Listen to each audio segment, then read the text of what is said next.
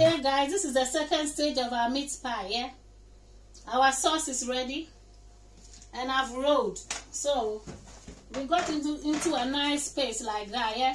So when you put the butter and your milk or your coconut milk, you can use a little bit of water. Try and mix it till you get a nice consistency like that. So all what we do is just to roll it with the rolling pin, yeah? So you just take your time and get it nicely and flat. There's no special method. You just take your time and roll it nicely.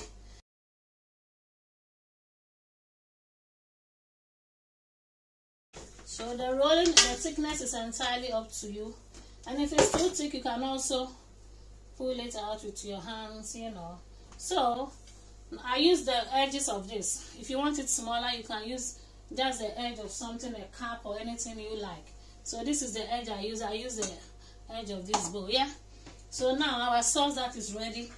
So you put your sauce in the middle, yeah? You put it in the middle. And then all you do is to just cover it like that. And then you can stretch it as you go along, okay? Make sure the edges connect nicely.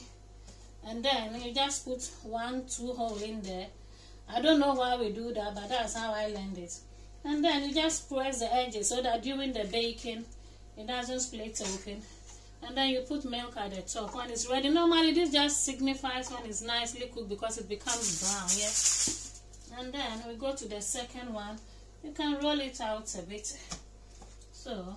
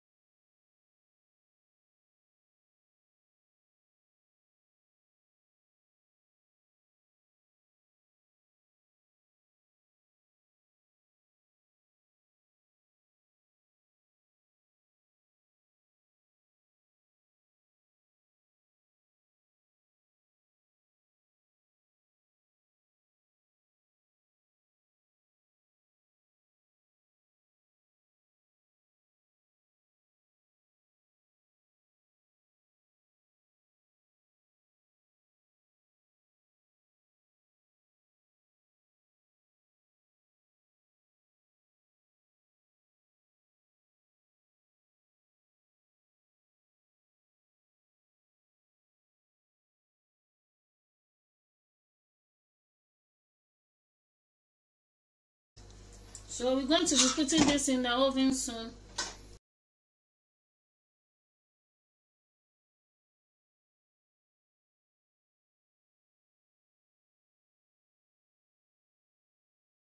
For you to know how far we have come.